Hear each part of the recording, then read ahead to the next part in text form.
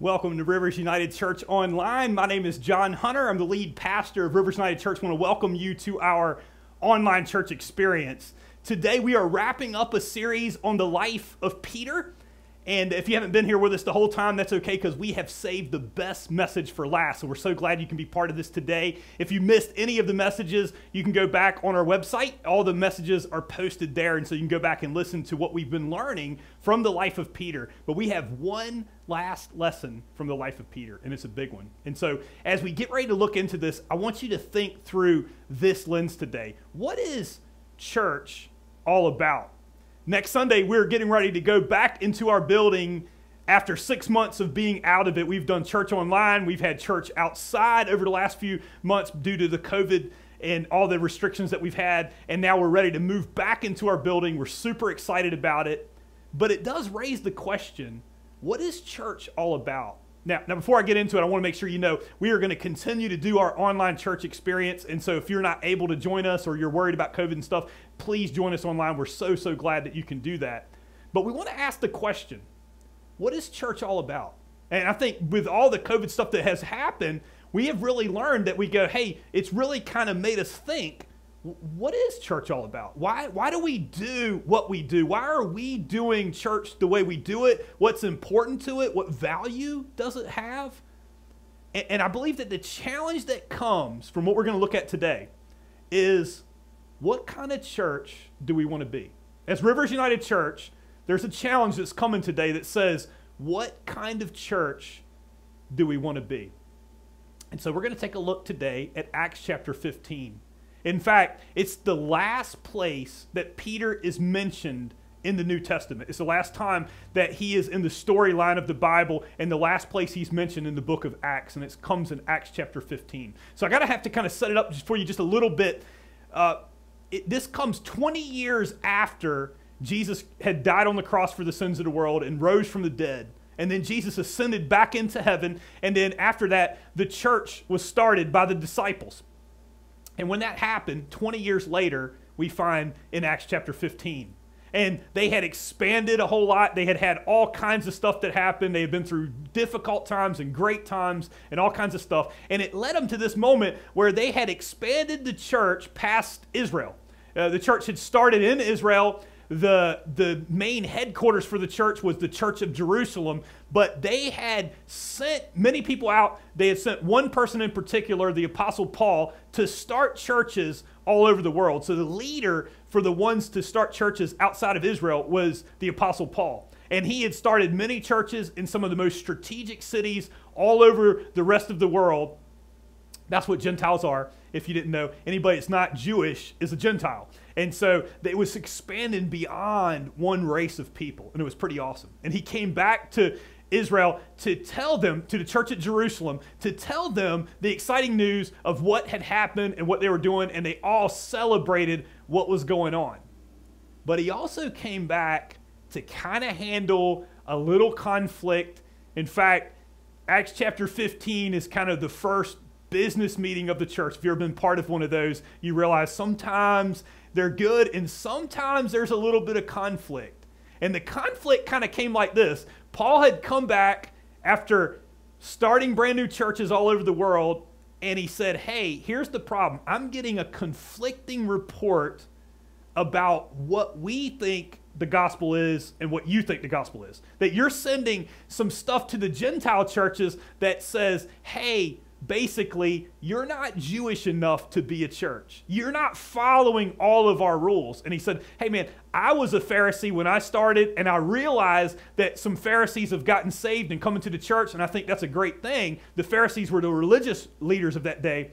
But here's the problem, guys you're sending out a, a, a letter to the churches, and you're saying that they have to follow all 613 Jewish laws slash customs or they can't be the church. And that's not what I've been teaching at all. What I've been teaching is, is that, that I don't front end load the gospel. That I've been teaching them that it's that you can come to faith in Jesus right where you are, and as you put your faith and trust in Jesus and accept him as your Savior, and, and you get to be part of the church, then your life will change. But sometimes that takes time. And you don't have to follow all the Jewish customs. I mean, of course, we follow the moral letter of the law, but we don't follow all of your customs. You, you can imagine how that went over in the church of Jerusalem. They were like, well, I, I don't know if we agree with that, that there are rules and there started to become this conflict that said, what about the truth of the gospel? And then on the other side, what about the grace of the gospel? And they started to kind of go back and forth and back and forth, and it seemed like it was leading to a huge division in the church. Kind of what we're talking about today. What is church all about? Why did it start? And right in the middle of that conflict, Peter stepped up. Now you got to understand, Peter was the one who preached the message that started the church. But now he was getting a little bit older. It had been 20 years when he was middle aged back then. Now he's getting to be an older man. And, and he spoke up he's no longer the lead in the church. Some other younger guys have come in and they're leading the church. And the Apostle Paul, on the other side, was the one that was the first missionary around the world, and he was kind of the star now. So there could have even been a little bit of tension there for him to go, hey, are you insecure in your position? And how will you use your influence now? Because you've already had some run ins with Paul that he challenged you about this very issue because you liked it when the Pharisees finally came because you had been a fisherman before and now you're kind of in the in crowd in, in Jerusalem. And while the Pharisees used to be against Jesus, now they're for him and you're popular and that's really cool. But now you have to make a choice. Is it grace or truth, Paul? Is there a way to, what are we going to do? How are we going to do this, Peter? You've got to make a choice. And so he stands up and he speaks up and he speaks to this. And I want you to see how he uses his influence. Acts chapter 15. Acts chapter 15 in verse 7, it says this After much discussion, Peter got up and he addressed them. Brothers, you know that some time ago God made a choice among us that the Gentiles might hear from my lips the message of the gospel and believe. The first part here is he's saying this is not just a Paul thing, this is a God thing. That I don't know if you remember, but even before Paul was a missionary, I had spread some of the gospel, and God called me to go out and preach it, and you guys knew about that. In fact, we went over and remember that guy named Cornelius, and how that God told me that that some of the Jewish customs were just types and shadows, things that we ate that we no longer have to eat, that some food is not unclean anymore. And they're kind of like, yeah, we remember that, but that's not really good for our argument, Peter. So please stop saying it. Peter went on to say, verse 8 God, who knows the heart, showed that he accepted them by the Holy Spirit, just as he did us. If there's something I could get you to circle today, I don't know if you have a way to do that, but maybe just circle it in your mind. God who knows the heart. you see, Peter is pointing out to them God knows the heart. That's the first place you start. And I got a feeling they're saying, yeah, but Peter, you don't understand. See, God knows the heart, but we see their behavior, you know? I mean, look at the way they dress. Look at the way they mark their skin. Look at the music they listen to. You know, there's a homeowners association and they're not supposed to have a fence like that. There's a homeowners association and they park their car on the street, and that's offensive to some of us that follow all the rules, right? And he's saying, no, guys, God sees the heart, the center. In fact, isn't that what Jesus taught us? That he said, hey, the problem with you Pharisees, remember, not maybe it wasn't you, but maybe it was your, your parents or your grandparents, the Pharisees that gotten saved. It had been a while. So he's saying, hey, he pointed out to them, he was saying, hey, guys, you're following all these rules and you're changing your behavior on the outside, but it's like this it's like a glass. You clean it from the inside out. And, and the problem with you guys is you clean the outside of the glass, but on the inside is dead man's bones. That's kind of what he taught them. And he's saying, didn't Jesus say that? That he wants to clean us from the inside out? And isn't that what we want them to do as well? Verse 9 He did not discriminate between us and them. That's pretty powerful.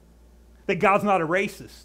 That he always intended not just for the Jewish people, but for the whole world to know Jesus Christ through them. For he purified their hearts by faith. But I have a feeling that the Pharisees and, and the leaders in the Jew, Jerusalem church are going, yeah, but their ways, they offend us, right? They don't dress right. They don't eat right. They don't behave right. And it's offensive to us. Peter? Okay. Let's see what he says next. Verse 10 Now then, why do you try to test God by putting on the necks of the Gentiles a yoke that neither we nor our ancestors have been able to bear? Peter's kind of saying, Isn't that right, guys? Right? I know you. Right? We can go back 20 years, and believe me, I know you. Remember Bartholomew before you were a disciple and we were in high school? I remember what happened after the ball game, right? Um, better yet, Matthew, I see you sitting over there. Do you remember what you were like before you came to faith in Jesus? you were a you were a tax collector. In fact, in your own book, your own letter of the gospel account that you wrote, Matthew chapter 9, by the way, remember when Jesus came to you? And, and we were all kind of offended because, like, we were down at the Sea of Galilee when he called us, and then he walked down to the wrong part of town and, and all of a sudden he comes up to a tax collector's booth and he calls you? we couldn't believe it. We were a little offended, by the way. It, it, because there's sinners and then there's tax collectors. You were a sellout. You know, it's bad enough what the Romans did to us, but you took advantage of that. And, and tax collectors, that's what you did. But yet he called you. Not only did he do that, but he walked down the middle of the street, he went to your house, and he ate with many sinners and tax collectors. What, what's up with that, right? Because he had a purpose. And then when the Pharisees, right, you guys, parents and grandparents that came, and, and they came and they said, what are, what are you doing eating with sinners and tax collectors? And Jesus sent out this word to them. In fact, in fact, here it is, Matthew chapter 9, verse 12. On hearing this, Jesus said, It is not the healthy who need a doctor, but the sick. But go learn what this means. I desire mercy, not sacrifice. For I have come to call the righteous I have not come to call the righteous, but sinners. He's saying, dude, if we couldn't have, if we, if we didn't follow all 613 laws and customs, how are we expecting Gentiles that weren't even born that way to do it? No, let's not be hypocrites, guys. In fact, he goes on to say this No, no, we believe it is through the grace of our Lord Jesus that we are saved, just as they are. In fact, Paul, that's here today, the Apostle Paul, right? You wrote in your letter to the to the Ephesians, Ephesians chapter 2, 8 through 10. You said it's by grace we've been saved through faith, and that not of yourselves. It's a gift of God, not of works, so that no one can boast. And then you go on to say, we're a workman created in Christ Jesus to do good works. So we're not saying it's not important what they do. It's not we're not saying it's not important that they change their lives. What we're saying is is that he changes the heart and then he purifies the life. In fact, guys, if there was something I could ask you to write down today, you know what I would tell you? That God purifies a heart before he purifies your life. He purifies your heart before he does your behavior. This is big for somebody today. That you come to faith in God right where you are, that God loves you right where you are, but too much to leave you there. So, what does that mean? It means that God purifies your heart before he fixes your marriage. God purifies your heart before you're able to forgive, before you're able to be forgiven, before you are letting go of those insecurities and all that stuff, you got to come to God. That God purifies the heart before he does your life. Okay.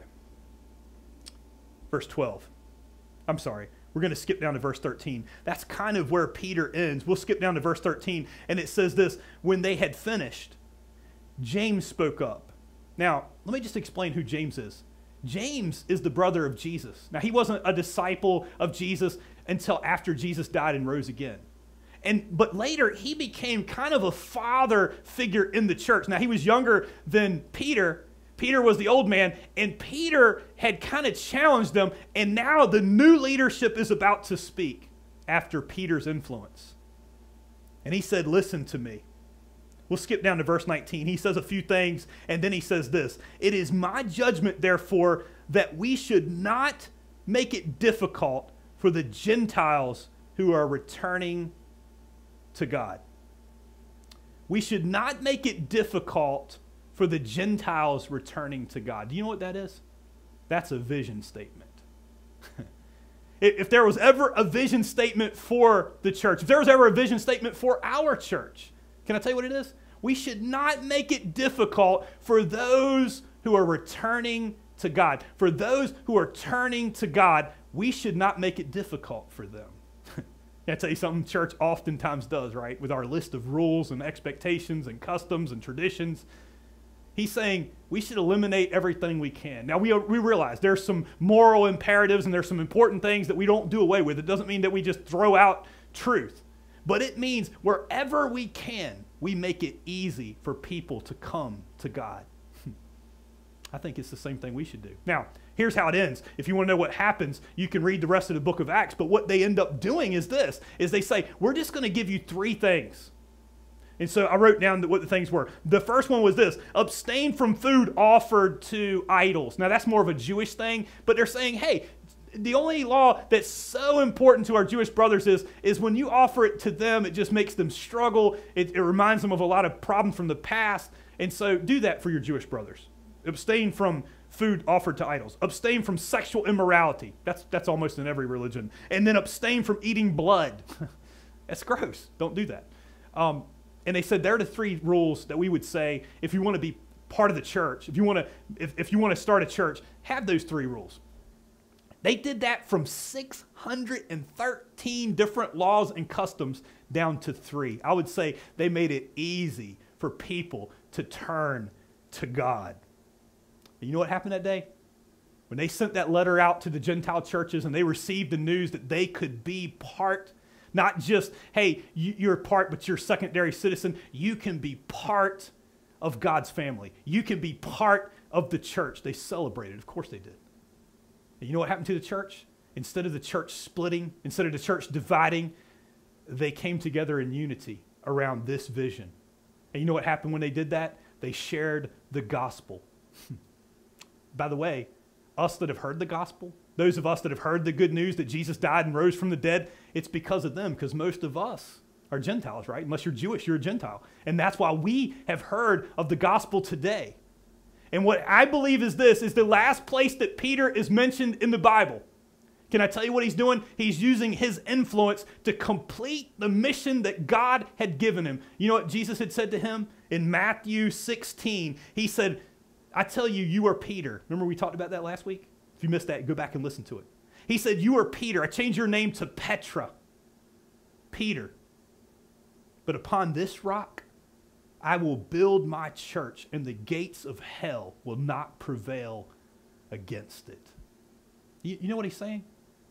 He's saying, Upon this rock, where you said that Jesus is the Christ, the Son of the living God, that what he was saying is this He was saying, Upon this rock, I will build my church and the gates of hell will not prevail against it. You know what the gates of hell are? Now, it's true that, that there comes a time where sin separates us from God, and if we die in our sins, we're separated from God for all of eternity in a place called hell. It's the biggest part about that is separation from God and His love. But the gates of hell is talking about people that are even living now that are trapped behind Satan's system. Do you know what that feels like?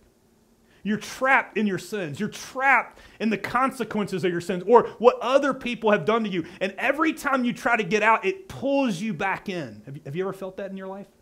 That's the gates of hell, right? If you've had an addiction, you know exactly what I'm talking about. And he's saying, I will use my church to kick in the gates of hell because the church was never meant to just be an organization. The church was never meant to just be an org chart or a slick model or a, a list of rules. The church was meant to be a movement of God to reach people that are behind the gates of hell. That's what Peter did. My question for us today is this is what will we do? And what I did was is I wrote down a couple of things. If you can, I'd like you to take some notes today and consider these things. Three drifts that we have to avoid and three commitments that we have to make. Now, I'm going to tell you, I, I got these from Andy Stanley. Uh, several years ago, I heard a message from him about this, and it transformed how I saw things. And I'm still, still wrestling through this to go, I need to apply this to my life as well. And so I decided I just want to use these things, and I appreciated Andy Stanley and North Point Community Church for allowing us to use these and to challenge our lives as well. So I want to give you three drifts. Now, before we go there, I just want to explain drift. You know what I mean by drift? If you boat, how many boaters do we have? I love boating. Uh, I don't have a boat, but I do get to rent one at least maybe like once a year. We rent a boat. And this year was super exciting. We were going to go to Lake Gaston and we were going to rent a jet boat. Anybody ever had one of those? And it was supposed to go around 60. I thought I could get it up probably to 70 miles an hour. And I was so excited. But when we got to Lake Gaston, they said, hey man, it's been so busy with all the COVID stuff and everybody wanting to get on the lake that the boat broke down. And it was so disappointing. And then they said, but I tell you what, we'll let you take a pontoon boat instead. Now, can I tell you something about me and my wife? We're not pontoon boat people. If you like pontoon boats, I'm not here to do that. If you want to invite us on your pontoon boat, we'll probably come. But, but here's the thing we're not pontoon boat people, okay? But we, we went out in a pontoon boat, and uh, Murray's like, floor it. And I'm like, it's already as far as it can go. This is floored, right? It was definitely not 70 miles an hour. Okay, anyway. So we get out there and we want to swim. And then we realize they didn't provide an anchor. So we're out there in a pontoon boat and we jump off. And before it comes back up to the shore, I have to jump back on, get the boat on, and turn it around. Because why? Because it naturally drifts with the water unless you're anchored, unless you're intentional. Can I tell you something? There's some drifts that are natural to us that we have to be intentional about avoiding these drifts. Okay, here's the, here's the drifts. Number one, the drift towards insiders and away from outsiders. The drift towards insiders and away from outsiders. Do you know what I mean? If you've been in church long enough, then you know what I mean. You've been coming to church for a while, and we we would naturally cater at over time. We would naturally cater to those that have been here the longest, and not cater to the ones that have never been here. One is because people that have never been here never complain about anything. Why? Because they've never been here. Yet we have to be cognizant of saying, hey, God left us here to reach those that are not here. we got to be careful that we don't just look at it from this is what I like, this is how I like it, and not make it easy for those that are trying to return to faith in God. It could be very easily, hey, if you follow my version of Christianity, and you can get in the door, especially right now with COVID because we have limited seating and stuff like that. My question is, is would we be willing to give up our seat for somebody new coming in? Would we be would we be willing to help them come in, or do we have cliques and we we stick to ourselves? And it's real easy to do that, isn't it? So we have to avoid the drift towards insiders and away from outsiders. Number two, we have to avoid the drift towards the law and away from grace. Do you know what I mean by that? That the law says that, you know, hey, it's easy to do that. Now, we wouldn't have thought that when we first came, right? Because we didn't know much. But as you get, if you've been in the faith for five or more years, then sometimes we start to go, hey, it is important that we follow standards. And that is, it's so true. It is. There's nothing wrong with the law, it's the rules, right? But we start to lean more towards it. And what we do is we start to become efficient. And so what we do is this we go, hey, you know what's easier than just talking to people about this thing? Is to make categories and policies. Can I explain what I mean by that? Category center, policy, go away and clean up. Come back when you're all fixed up. It'd be very easy to do that, right? That we get very easy about not caring about the messiness in people's lives. And instead, we just do policies and categories. In fact, you don't even need to sit down. We don't even need to know your name. You can look at this list, and if you have these problems, go away, come back when you're all cleaned up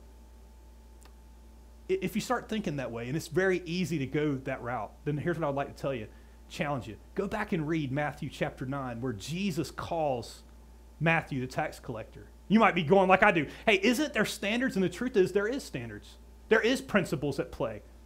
But here's the problem with that. If we only gather around people who believe right and behave right, you read Matthew chapter 9, you'll figure out Jesus was saying, I didn't come to call the righteous, I came for the sinners.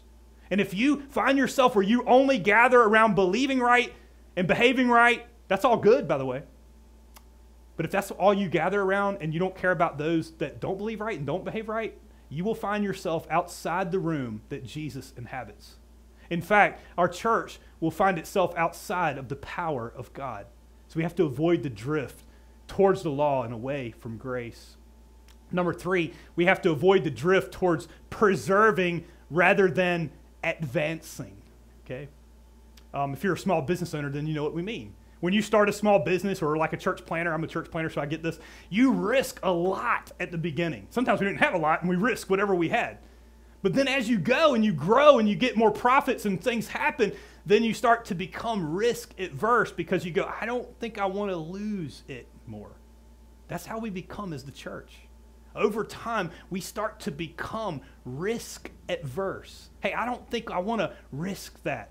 And in fact, the Jewish people, they didn't want to, they were trying to preserve the law. That's okay. Jesus never said he's, it's worth preserving. He just said, I don't want you to err on the side of preserving the law and not advancing the gospel, not advancing my kingdom.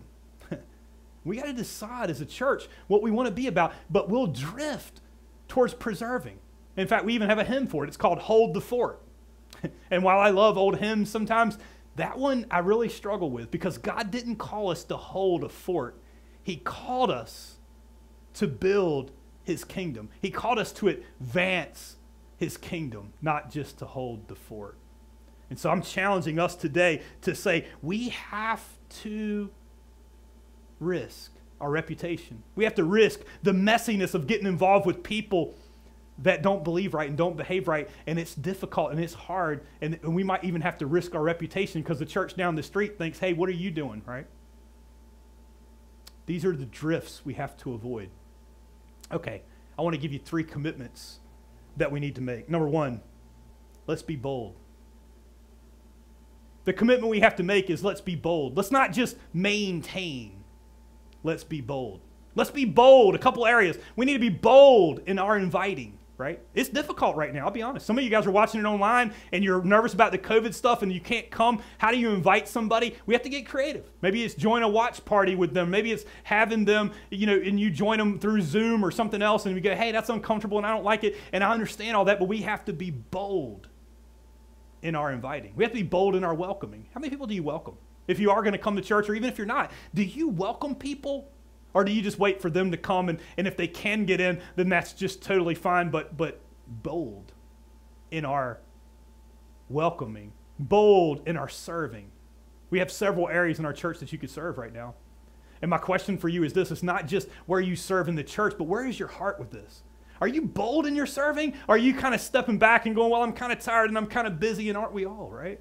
Bold in our serving, bold in our giving. You go, how dare you say anything about giving money? I, I didn't say money.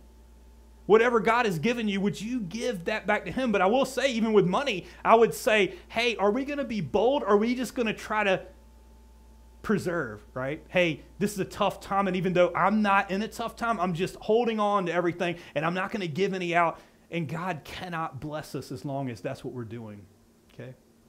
Well, let's be bold. The commitment number two is this let's always err on the side of grace. Now, that one I kind of struggled with because I was kind of like, well, you know, are we sure that's right? So if you, if you have a problem with it, just email Andy Stanley at North Point Community Church. I'm sure he would love to hear that. And he'd be like, who are you guys? But anyway, um, but as I looked at this over the years, I realized it is dead on. It does not mean that we err on the side of grace and forget about truth. What we mean is this when it comes to a policy, or grace. Let's err on the side of grace. Let's err on the side of having conversations with people, not just hitting them with a policy. I've, never seen the life that changed because of a policy. I've seen many lives that when the person took time to extend grace to them instead of just a policy, it changed their life. So I would say, let's be a church that extends grace, not just our policies. Okay. The last one is this let's remain open handed. Let's remain open handed. You know what I hope for our church? I hope that we'll risk more in the future. I hope that we won't just be a church that preserves but advances. If you need a verse for that, Matthew chapter 25, Jesus compares our lives to that of somebody that, that that's like a master that gives out money to his servant and and the ones that come back to him and they say hey man we've advanced and we've we've we've created more profit for you. And they say great well done. But the one that came back and he preserved his life and he held on to it with everything with it he didn't want to tarnish it. And he presented just what he had back to him. He said you wicked lazy servant. You can read it in matthew 25 he said you cast him out where there's weeping and gnashing of teeth you might be saying, Are you saying that I'm not saying? No, I'm not saying that. What I'm saying is, we will not have the power of God as long as we're holding on and trying to preserve. So here's my challenge for us today Will we be a church that instead of trying to preserve something, advances something? Hmm. will we be a church that God can use? I believe this. If we avoid these drifts and we make these com- commitments, I believe that God could use us to build his church. And I believe this he said, I will build my church, and the gates of hell will not prevail against it. so here's my question for us today What kind of church do we want to be? Can I pray for you today? Let's pray. Father God, we come before you today. Lord, I thank you for the powerful example from the life of Peter, that he used all his influence to advance the gospel. I'm praying, Lord, for Rivers United Church today that we will be that kind of church. That we won't just be about preserving, but we'll be about advancing. That we won't be scared of the messiness of getting involved in people's lives, but, but we'll do that with your power. And God, I believe if we move forward, you'll empower us to do it. And you'll do just like you did with the church in the book of Acts. God, I'm praying for the one that goes, you know what? I, I know all about the gates of hell. Maybe somebody's stuck behind it today. I'm praying for them right now that they call out in their, their, own words and that you'll reach out to them that maybe for the first time they realize there's a God that loves them right where they are and they want out and they don't know how to do it. And maybe the first place they got to start is just to call out to you and ask for you to help them, realizing that you died on the cross for their sins and you rose from the dead and you're offering them resurrection power today. God, I pray for all of us. Help us to be a church that's advancing, not preserving. Make us that kind of church, God. We'll give you all the honor and glory and praise in Jesus' name. Amen.